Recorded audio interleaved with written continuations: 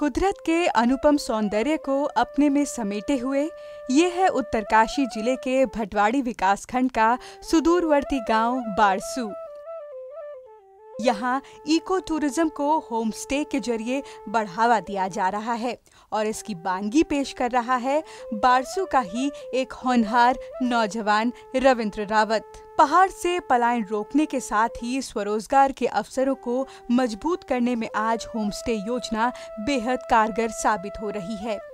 हरी घास के समतल मैदान के बीचों बीच बना ये होम स्टे बारसू की खूबसूरती को चार चाँद लगाता है। यही वजह है कि यह जगह पर्यटकों से गुलजार रहने लगी है। देश के अलग अलग कोनों से पर्यटक यहाँ दौड़ भाग भरी ज़िंदगी को पीछे छोड़ शांति की अनुभूति के लिए पहुँच रहे हैं। ढलती शाम के साथ ही इस होम स्टे का नज़ारा और भी अधिक मनमोहक होने लगता है। शीतल आबो हवा के बीच आग की तपिश एक सुखद और यादगार अनुभव देती है। मन पर रेशम फिरी रेशम फिरी ग्रामीण परिवेश के बीच मेहमान नवाजी का अवसर प्रदान कर रहे रविंद्र रावत जी से जब हमने मुलाकात की तो उन्होंने बताया कि किस तरह उन्होंने अपने अनुभवों के बल पर गाँव की इस बेमिसाल खूबसूरती का सदुपयोग करने की ठानी और खुद और गाँव के लोगों के लिए सम्मानजनक रोज़गार के अवसर पैदा किए। अक्सर हम रोज़गार की बात करते हैं उत्तराखंड में और आजकल जो एक प्रमुख समस्या उत्तराखंड के नौजवानों की, वो रोज़गार की है।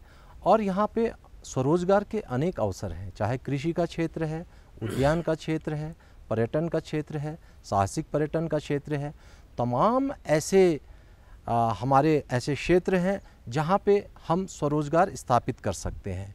और आज हम बारसू गाँव में उत्तरकाशी का एक बिल्कुल सुदूरवर्ती गाँव है बारसू गाँव में जब आए हम तो यहाँ हमें एक होम स्टे देख के बहुत ही आश्चर्य हुआ है और इतना सुंदर गाँव इतना सुंदर होम स्टे, और हमने प्रयास किया कि उसके जो चलाने वाले हैं, उसके मालिक जो हैं, रवि रावत जी इस समय मेरे साथ हैं, इनसे हम बात करें।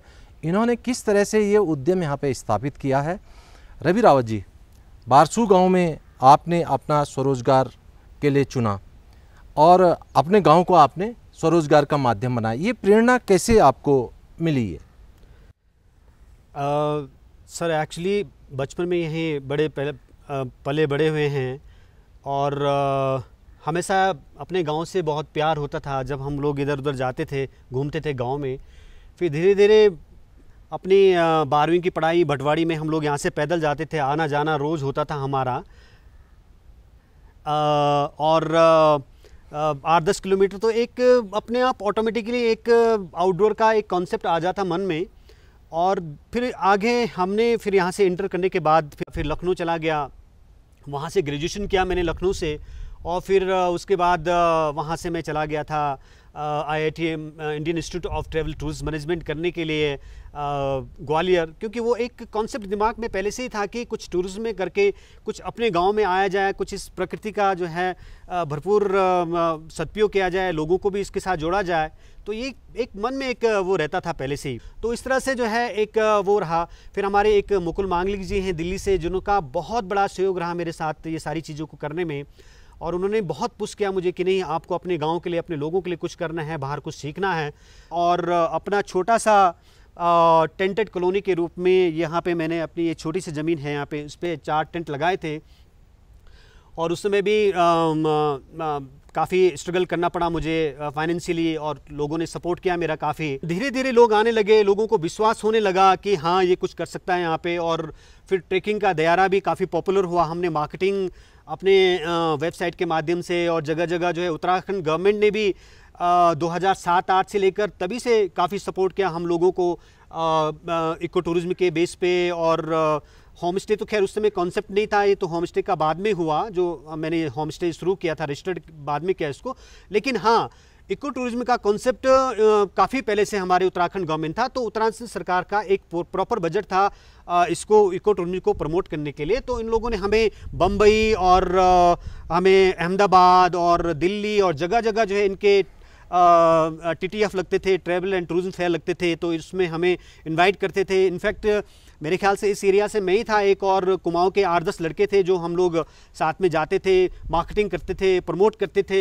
काफ़ी ब्रोसेस वगैरह पम्पलेट्स वगैरह ले जाते थे। तो काफ़ी वेल नोन हुआ ये इस आठ दस सालों में। एक आपके पास बहुत अच्छा एक कंसेप्ट आपको मिल गया था कि दयारा को हमें डेवलप करना है। दयारा में हमारा आ, कुछ टूरिज़्म चलेगा इको टूरिज़्म होगा ट्रैकिंग होगी एडवेंचर होगा।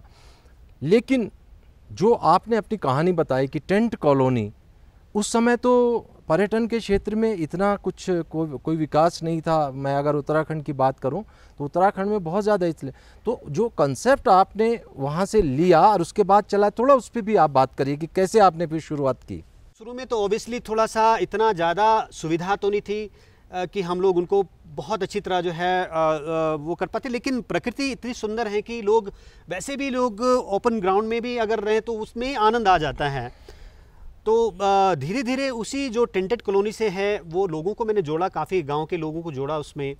और जैसे और तो खैर, यहाँ पे इतना उस समय होता नहीं था, पर हाँ सब्ज़ी, दूध जो भी यहाँ की चीज़ें थी, उनका मैं इस्तेमाल करता था, घर से लाता था, लोगों से ख़रीदता था। और लोग बहुत खुश होते थे कि चलो, कुछ न कुछ हमारे यहाँ रोज़गार हो रहा है। और फिर धीरे धीरे टूरिस्ट आने लगे। और इस तरह से फिर, पर उसमें हमारा, जैसे मैंने अभी उसमें कहा था कि बाहर के लोग भी इसमें इन्वॉल्व थे, जो चाहते थे कि ये सराय आगे बढ़े तो उनके कुछ कॉन्सेप्ट होते थे जो मैं समझता हूँ कि वो पूरी तरह मैं नहीं कर पाया। उसमें ये था उनका कि एक तो वाटर का था, पानी का था कि आपका पानी का सोर्स क्या है, उसको आप ट्रीट कैसे कर रहे हैं? पहली चीज़, जो हमारे कहीं भी किसी इंडिया में अभी बहुत कम जगह हैं जहाँ पे लोग इस बेसिक चीज़ों पे ध्यान दे रहे हैं, जो टूरिस्ट के लिए बहुत ज़रूरी है खास तौर से फॉरेन टूरिस्ट। दूसरी चीज़ उनका था कि हम ये बिजली नहीं चाहते हैं, जो वैसे आपका पास पानी है, आप माइक्रो हाइड्रिल या आप घराट के माध्यम से या कुछ इस तरह से जो है आप बिजली पैदा कीजिए या सोलर के माध्यम से बिजली पैदा कीजिए। आपका सबसे बड़ा जो इशू था उनका, वो ये था गार्बेज का। कि आप गार्बेज कहाँ डिस्पोजल करते हैं? क्योंकि गार्बेज की हमारे हर अब उत्तराखंड में बहुत सारी प्रॉब्लम है। खैर अब तो काफ़ी कुछ आ गया है देहरादून और हर जगह पे इसको डिस्पोजल करने का और रिसाइकिल करने का। लेकिन पहले कुछ नहीं था। और 2015 में जब हमने दयारा में ट्रैक ऑफ़ द ईयर किया था तो उसमें आ, हमारे एक प्रेटेंट सेक्रेटरी उसमें हुआ करते थे उमाकांत पवार साहब तो आए थे। तो मैंने उन्हें रिक्वेस्ट की थी मैंने उनसे निवेदन किया था कि सर देखिए आप हम लोग बहुत बात करते हैं होम स्टे की और ग्रामीण पर्यटन की। लेकिन अगर हम गाँव के लोगों को जस्ट कहेंगे कि आप अपने घर को रिनोवेट कीजिए और उसमें पर्यटक को रुकवाइए तो वो नहीं कर सकता था बिना उसका एक्सपोजर का, बिना उसका देखे, बिना उसकी ट्रेनिंग की। तो उन्होंने, खैर, उन्होंने कहा कि आप बताइए तो मैं यहाँ से, यहाँ बारसू और रैथल से 25 लोगों की टीम को पंद्रह दिन के हमारी उत्तराखंड सरकार ने जो हमें बहुत उसमें मदद की और ये बहुत बड़ा इनिशिएटिव था तो ले गया लद्दाख और उन्होंने वहाँ सीखा, देखा कि किस तरह से जो है लद्दाखीज़ ने इन पंद्रह बीस सालों में जो है कहाँ से कितने गुना जो है अपने टूरिस्ट को बढ़ा दिया था। मुझे याद है कि जब मैं 98 99 में जब लद्दाख जाता था तो वहाँ पे केवल आपको दो चार फॉरेन क्लाइंट्स दिखते थे, लेकिन आज वहाँ पे हज़ारों लोग जा रहे हैं। क्योंकि उन्होंने वहाँ के कल्चर को वहाँ के खाना पीना वहाँ का रहन सहन उसको अलग कर दिया था उन्होंने बिल्कुल प्योर लद्दाखी कर दिया था उन्होंने। तो वही मेरा एक कॉन्सेप्ट था कि मैं भी अपने लोगों के साथ मिल के यहाँ के लोगों को एक चीज़ दिखाऊँ कि कैसे जो है आप होम स्टे को जब आप रजिस्टर्ड करोगे होम स्टे को आप सरकार के साथ जुड़ोगे तो कैसे जो है आप आ, अपने होम स्टे को चलाओगे। तो इसी तरह से जो है हम लोगों ने फिर ये होम स्टे शुरू किया। और धीरे धीरे जो है फिर ये इस तरह से दो चार कॉटेज हमने बनाई। रविंद्र रावत जी के सपनों को पंख दिए सरकारी योजनाओं ने। प्रधानमंत्री रोज़गार सृजन योजना और अन्य योजनाओं के बल पर उन्होंने होमस्टे की नींव रखी और अपने उद्योग को मजबूती प्रदान की। इसी कड़ी में अगर मैं बात करूँ तो आपने प्रधानमंत्री रोज़गार सृजन योजना के अंतर्गत भी लाभ लिया और अपने कारोबार को कुछ आगे बढ़ाया। कुछ इस बारे में बताइए। हमारे और जो युवा हैं वो भी इससे प्रोत्साहित होंगे कि प्रधानमंत्री रोज़गार सृजन योजना ने आपको किस तरह से वित्त पोषित किया किस तरह से आपको अनुदान दिया और किस तरह से आपका ये जो होम स्टे का कंसेप्ट है आगे बढ़ रहा है? आ, इस योजना जो प्रधानमंत्री रोज़गार सृजन योजना है और हमारी एक दूसरी उत्तराखंड सरकार की योजना है जो बीर सिंह गढ़वाली रोज़गार योजना है, जो पर्यटन में ख़ास तौर से काफ़ी लोगों को आज रोज़गार दे रही है और सहयोग कर रही है।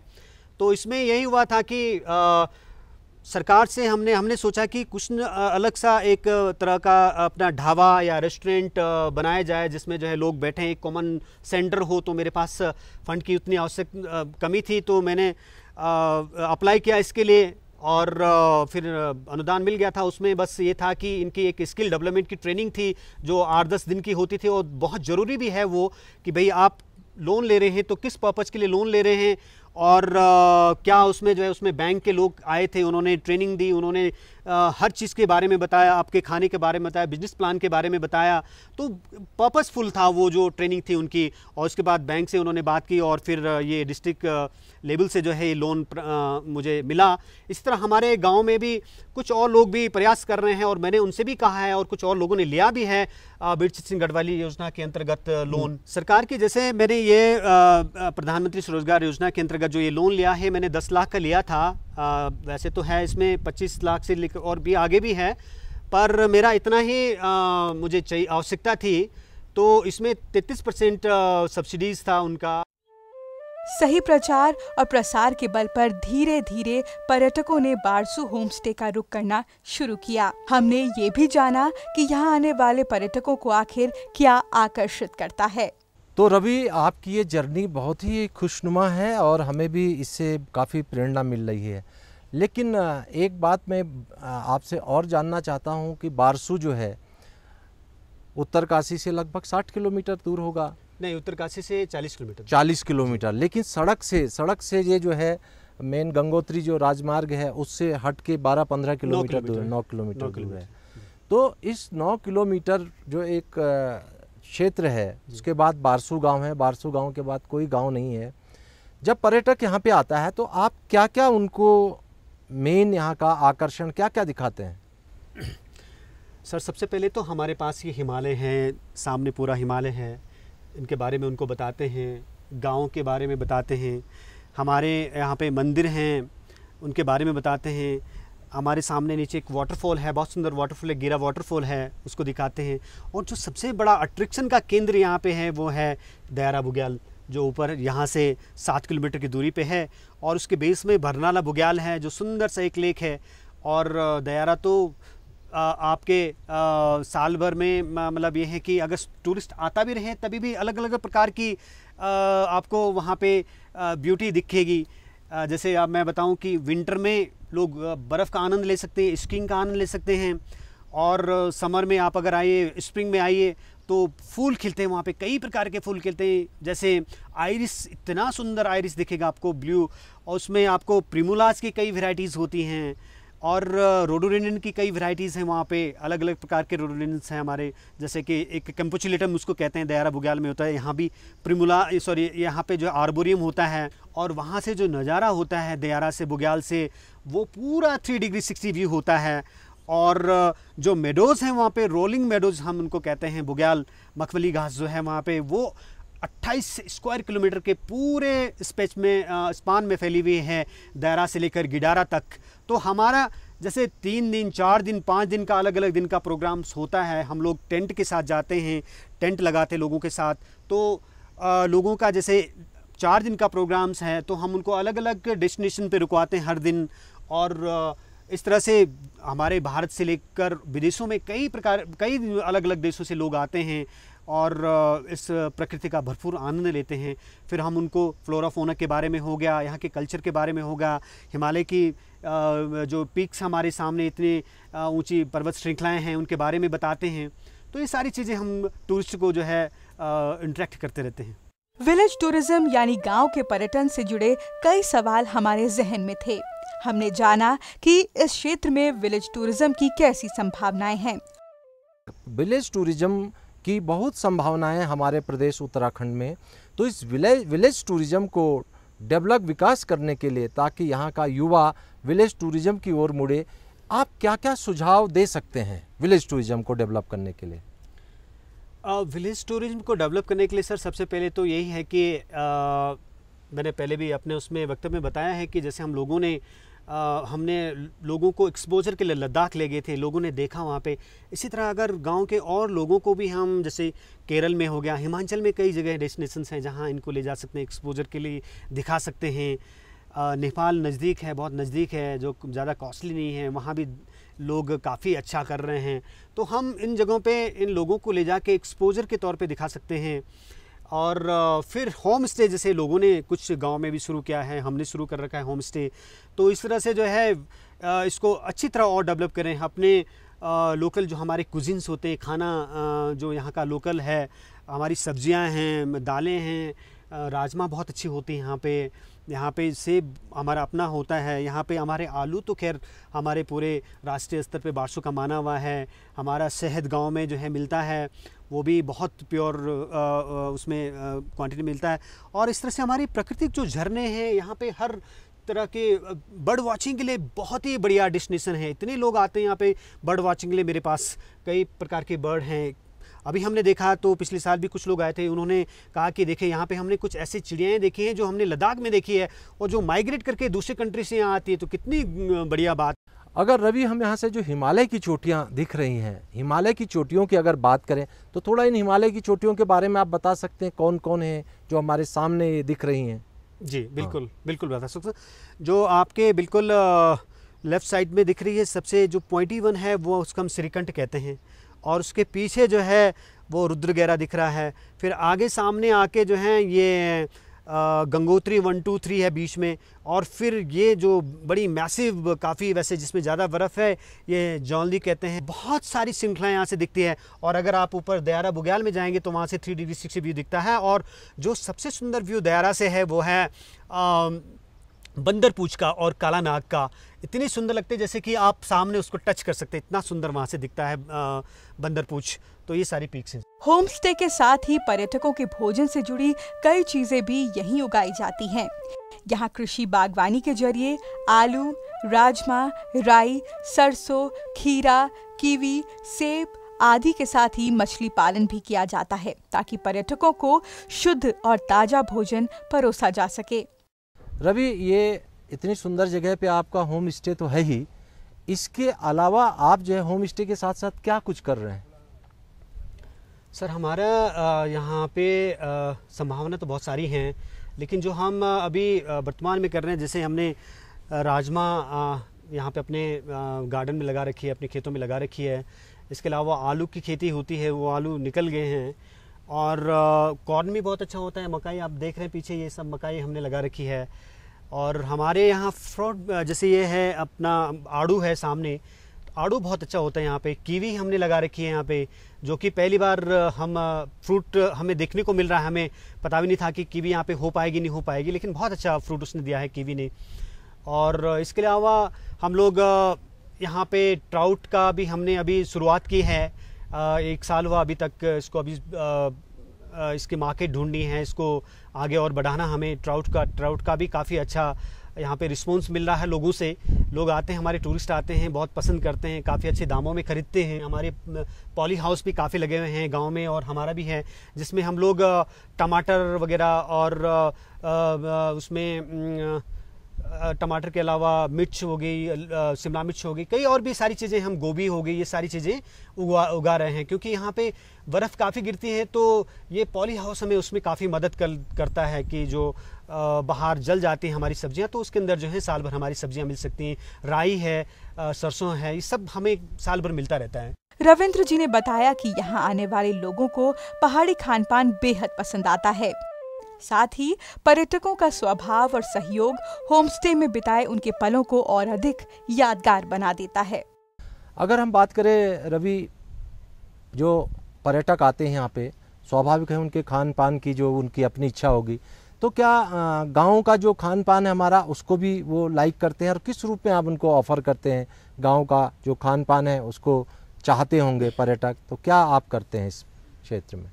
देख सर, हमारा जो मेन यहाँ का खाना है, जैसे हम आलू की छिचानी हो गई चौसा हो गया, और हमारे लोकल चावल होते हैं जो लाल चावल होते हैं, वो परोसते हैं। झंगोरा तो खैर यहाँ नहीं होता बारसू में, लेकिन अगर किसी की डिमांड हो तो हम लोग नीचे थोड़ा प्लेन, जो डाउन एरिया है, वहाँ से झंगोरा भी ले आते हैं। कोदो हमारा काफ़ी अच्छा होता है, कोदे की रोटी बहुत पसंद करते लोग, और हमारी चटनी हम लोग बनाते हैं, पुदीना की चटनी और झंग उसके कोदे की रोटी के साथ बहुत अच्छा होते हैं। हमारा मक्खन होता है, अपने गाँव का, घर का मक्खन होता है। उसके साथ हम लोग जैसे मट्ठा हम लोग लगाते हैं तो रायता भी बहुत अच्छा ककड़ियाँ हमारी बहुत अच्छी होती हैं यहाँ पे। तो ये सारी चीज़ें हम लोग डिमांड के अनुसार हम लोग टूरिस्ट को ऑफ़र करते हैं। और कभी कभी हम टूरिस्ट को कहते हैं कि नहीं नहीं, आप इसको लीजिए, आप आप अनुभव कीजिए यहाँ के कुजिन को, यहाँ के खाने को। तो ये हम लोग समय समय पर करते रहते सर। रविंद्र जी ने आगे चलकर युवाओं को स्वरोजगार से जोड़ने के सुझाव भी दिए और स्वरोजगार अपनाने की ओर प्रोत्साहित भी किया। उत्तराखंड में बेरोजगारी एक बहुत बड़ी समस्या है और उस बेरोजगारी को हम स्वरोजगार से दूर कर सकते हैं, आराम से कर सकते हैं। तो आप क्या हमारे युवाओं को ऐसा कुछ कहना चाहेंगे? आप इतने सुशिक्षित व्यक्ति और आप अपने, आपने सरकारी नौकरी को, की ओर आपने टकटकी नहीं लगाई, आपने अपना रोज़गार खड़ा किया। ऐसा ही हमारे युवा करें आप क्या कहना चाहेंगे? सर हमारे पास बहुत सारी अपॉर्चुनिटीज़ हैं यहाँ पे और पर्यटन तो एक अपार संभावना है पर्यटन में आ, बहुत कुछ करने की। क्योंकि मैंने आ, देखा है ऑलमोस्ट मैं पूरे भारत में भ्रमण कर चुका हूँ इस पर्यटन के आ, फ़ील्ड में। तो हमारे इस गाँव में तो सबसे पहले ये तो जैसे होम स्टे है ही। मैं तो चाहूँगा कि हर बच्चा हर घर में होम स्टे हो। और जितने होम स्टे होंगे, उतनी पब्लिसिटी होगी, उतने ज़्यादा लोग होंगे। सरकार जब आपका सपोर्ट कर रही है, प्रॉपर आपको 40 परसेंट, थर्टी परसेंट आपको 35 परसेंट आपको सब्सिडीज दे रही है और इजीली आपको लोन दे रही है और सरकार ने तो अब तो ये कहा कि हम गारंटर हैं आपके बैंक के, आपको इजीली मिल जाएगा तो हम प्रयास ही नहीं करेंगे तो कैसे होगा? तो प्रयास तो हमें करना ही पड़ेगा। रवि, आपने बहुत अच्छी बात बताई हमारे युवाओं को और हमारे जितने भी दर्शक हैं, आपकी बात से निसंदेह प्रेरणा लेंगे। तो ये थे रवि रावत हमारे साथ, जो बारसू गाँव में, जिन्होंने अपना होम स्टे बहुत अच्छे ढंग से संचालित कर रहे हैं। ऐसे ही हमारे और युवा, प्रदेश के, हालाँकि कई युवा आ रहे हैं आगे, लेकिन और भी इसमें अभी अवसर हैं। और युवा भी इस तरह से एक सीख लें और अपना स्वरोजगार, अपना उद्यम गाँव में खड़ा करें, तभी इस उत्तराखंड का विकास हो पाएगा और हम अपने को भी रोज़गार पा सकते हैं और अपने गाँव के लोगों को भी रोज़गार दे सकते हैं। रविंद्र रावत जी का जुनून और उनका होम स्टे आज एक आदर्श और शानदार उदाहरण प्रस्तुत करता है। आज प्रधानमंत्री रोज़गार सृजन योजना और अतिथि उत्तराखंड गृह आवास योजना, यानी होमस्टे के ज़रिए पर्यटक इन स्थलों पर पहुंचकर उचित आवास और खान पान की सुविधा का आनंद ले रहे हैं। पर्यटकों को आकर्षित करने के साथ ही आज ये योजना स्थानीय स्तर पर स्वरोजगार के अवसर उपलब्ध कराने और भवन स्वामियों को अतिरिक्त आय का स्रोत उपलब्ध कराए जाने के अपने उद्देश्य पर खरी उतरती नज़र आ रही है। साथ ही देसी व विदेशी पर्यटकों को भी उत्तराखंड की संस्कृति, परंपराओं, व्यंजनों के स्वाद का अनुभव भी बखूबी प्रदान कर रही है।